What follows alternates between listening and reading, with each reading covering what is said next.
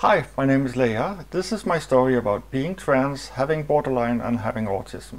I live in Malmö. I'm originally from Denmark and I have been living in Sweden for 20 years. I have some mental illnesses. Uh, I have borderline and I have autism, and those things are connected with my trans identity. And it's, it is not always clear how they do, but I got some idea how it connects, but it does.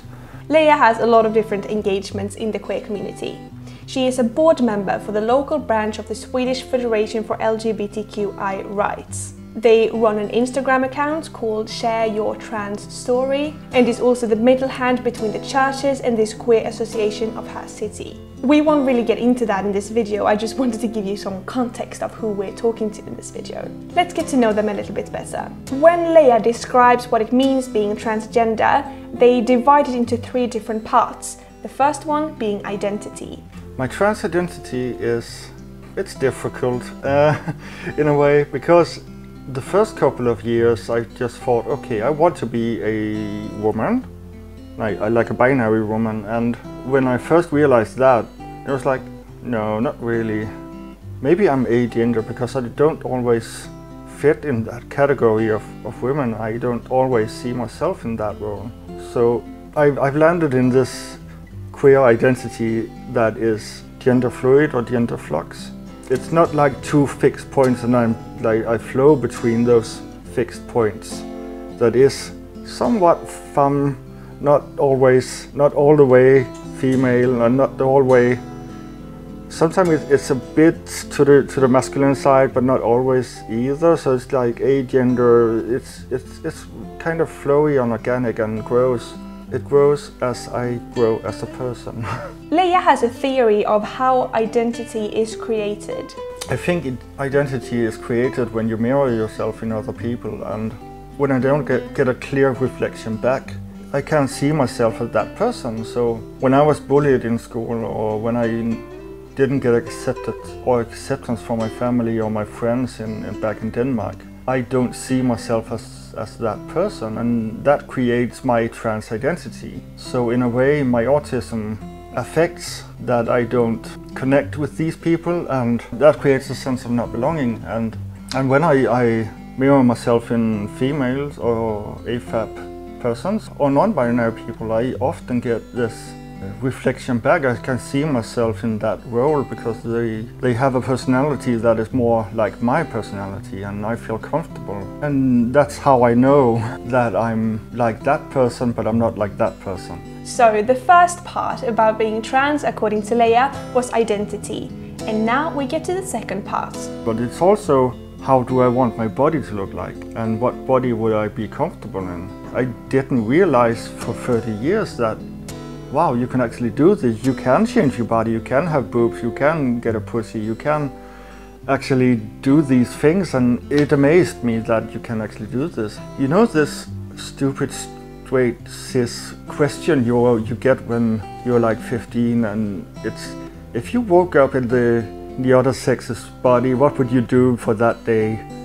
And that question never left my head and that's a clear indicator of what I want to do with my body and that I really, really long for, for having another body. The last couple of years I've been, I've actually starting to feel that I belong in my body and that I see myself as sexy and I see myself as desirable and I see myself as, damn, I look good and what what cute boobs I got and everything. And when I didn't have this body, when I was in my other body, I was kind of good looking.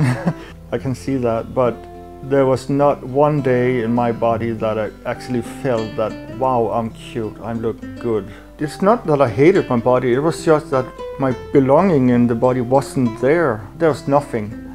And now there's something sometimes you don't know how bad a situation is until you get free from that situation and you, you get to a new situation, you get free from that situation, you're in a bad relationship and you get like, what the hell was that relationship all about and why did I accept all these things?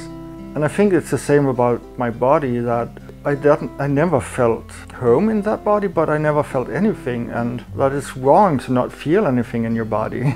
the lack of, of feeling about your body, that is not right you should feel something about your body. You should feel joy about it, and you should feel sexy, and you should feel desirable and loved, and all those things. And I feel that now, and that's an amazing thing to reach.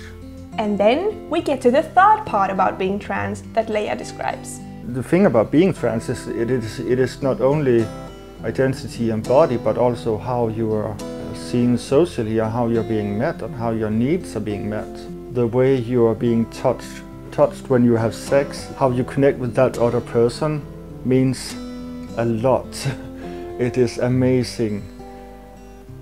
I think it's really, really weird that touch can be gendered and how amazing it, it actually feels to be touched in the right way, to be seen as that, as that person you are. And then we arrive to how her trans identity relates to their autism and borderline.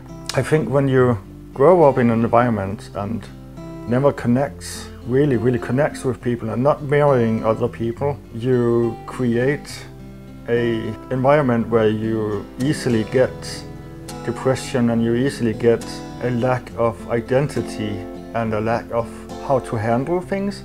So it creates like a, a cesspool of mental illness, uh, like borderline and autism. When you're a child, you do things, you learn by mirroring other people, you do what they do. And when people don't show emotions or show other people how to handle handle emotions, you have no idea how to have emotions. So my idea of emotions and my idea of love and my idea of identity and my idea of a lot of things are based on uh, vague ideas so they either get too little or they are too much so that creates my my borderline and that also creates that that idea that I have no idea who I really am or what I'm comfortable with.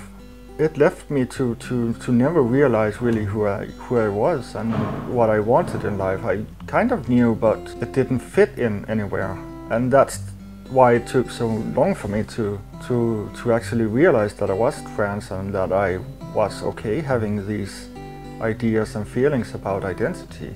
It's a, it's a shame that it should take that long. And I think that when we talk about mental illness and when we talk about trans identity, when we as older people talk about these things, we, we connect with our roots and our roots are the trans kids that grow up and don't have this feeling of belonging anywhere.